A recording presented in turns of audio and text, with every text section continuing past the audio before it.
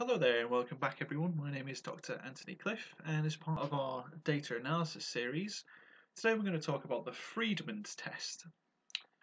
So you might have gone through your data so far and you realise that you have data from different time points or potentially before an intervention and after an intervention. So for example, you might have um, patients and you were looking at before uh, they had an operation during it and then afterwards to see what their pain scores were like. You might well uh, be looking at um, test scores. So before, uh, as an example, a spelling test, um, before they were taught something, during a two-week program, and then afterwards. All those different types of things. When you're looking at timescales and points between a select group, that's when you want to use a Friedman's test, especially when your data is not normal.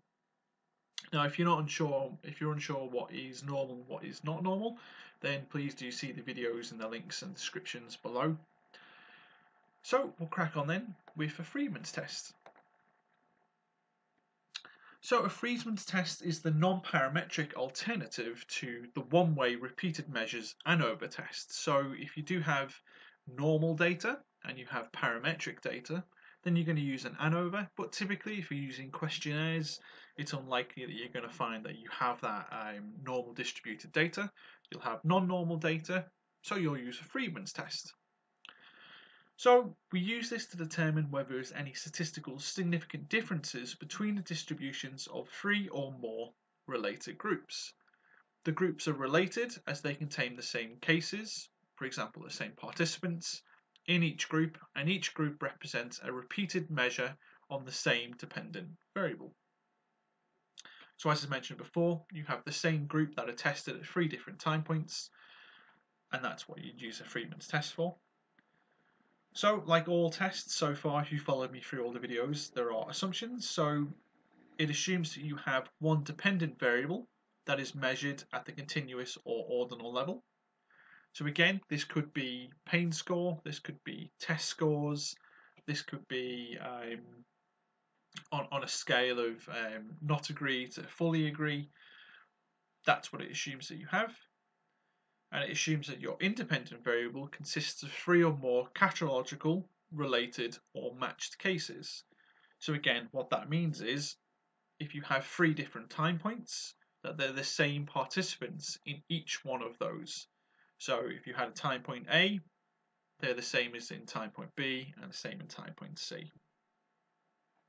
So let's head over now into SPSS and I'll show you a very easy way to do this. Okay, so we're back in uh, SPSS now. Now the one I'm going to focus on today is quite topical.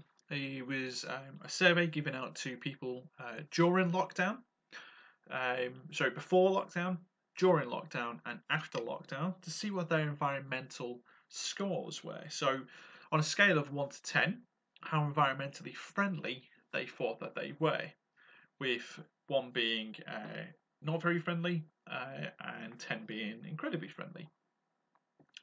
So, we're going to compare um, the UK population here between those three different time points.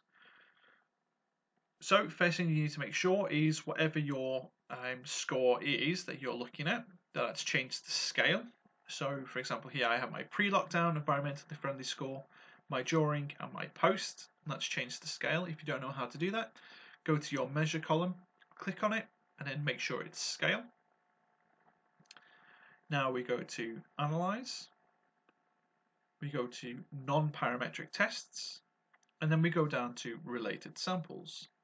Click on that First thing you'll see here is the objectives field. Make sure the automatically compare observed data to hypothesized is selected.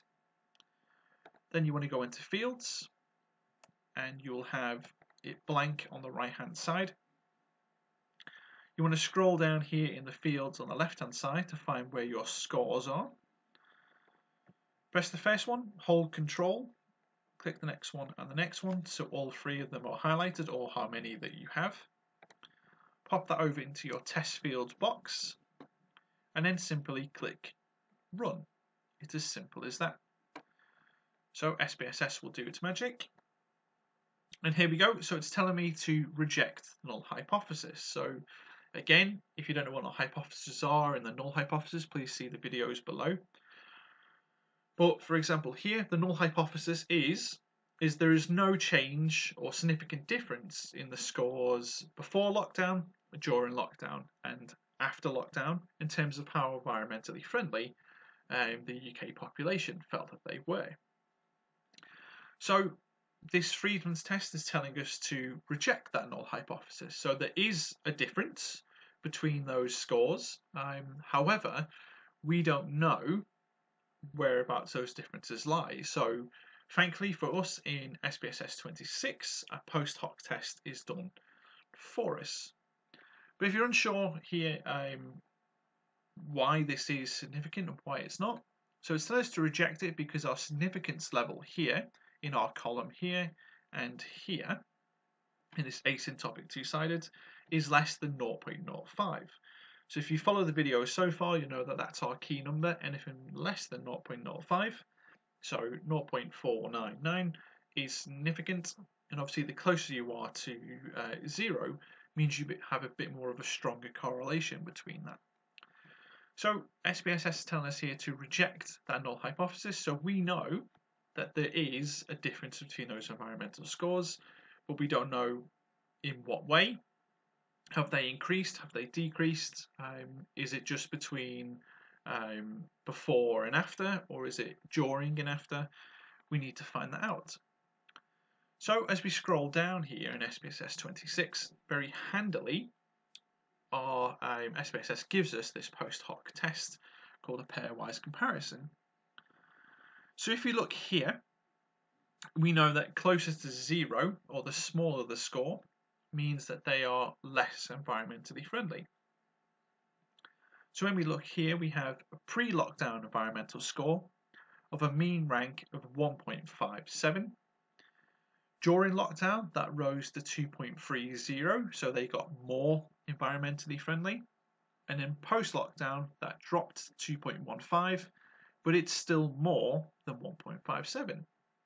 So looking at this, having a guess before we get down to our pairwise comparison, I know that this population that I studied had got more environmentally friendly after lockdown to compared to before lockdown. But let's see if that's true or not. So down here, if you've ever done a Kruskal-Wallis test, again, have a look at those videos, very similar a pairwise comparison is done. So what do we do with a pairwise comparison? So you have this table here, and what this is what this is telling us is we have to always look at the adjusted significance. So I mentioned this in the Kruskal-Wallis test, all about our Bonferroni correction. Always look at the adjusted significance. So we can see here along the bottom a post-lockdown score and during lockdown it's over 0.05, so there's no significant difference between these two here. And that kind of makes sense. We've got 2.30 and 2.15, they're very, very similar. However, as we go across here to our adjusted significance, that's telling us pre-lockdown environmental score is statistically significantly different than the post-lockdown. And again, that makes sense. We've got almost um, you know, almost a whole one percentage shift there. We've got 1.54 to 2.15. And it's also telling us that during lockdown, they were statistically significantly more environmentally friendly than they were before lockdown happened. So we know that, and that's now in a nice um, graphical representation. So if you are familiar with pairwise, basically anything in blue, the blue lines mean there is a statistical significant difference between those two categories. If there's red, it means that there isn't. So again, from um, uh, the way the scores were done, I know that the lower the score, the less environmentally friendly they were. So if I look here, pre-lockdown, they were at 1.54, and then post-lockdown, they've jumped to 2.15. So they've got more environmentally friendly, as time has progressed. And if I look here, before lockdown and during lockdown, again, they jumped. They uh, went from 1.54 to 2.30, so they got more environmentally friendly, or at least so they perceive so. However, the jump between um, environmentally friendly score during and after, there is no statistical difference there because they're relatively similar. Now, because I know that my scale went from uh, 1 is not environmentally friendly up to 10 being environmentally friendly, or is it up to 5, sorry, was environmentally friendly, um, then I know that this has increased because the higher the number and that they were more environmentally friendly. Of course, this could have gone the other way, so they might well have started off with a bigger number and then it would have decreased. And that's why you'll know if it's going up or down because you can see here uh, which way they're going from before, during and after. It's as simple as that. So how do we write that then in terms of APA? So we know there's statistical uh, significant difference and we also know that it's between these two. So simply, we simply say a pairwise comparison was performed via SPSS statistics with a Bonferroni correction for multiple comparisons. Lockdown environmental scores were statistically significantly different between pre and post lockdown, and it was less than 0.005. Now, here, because if we remember, if I just go back now and show you, we had 0.00. That doesn't mean it's 000, it basically just means it's 0.00005 or less than that. So we typically write that as less than 0.00005 rather than 0.05 and there was difference between pre and during. Again 0.005 there. So that's as simple as that. That's what you write. And then you can see there between the different time points again this could be anything related to test scores. It could be um, weight for example. It could be pain scores.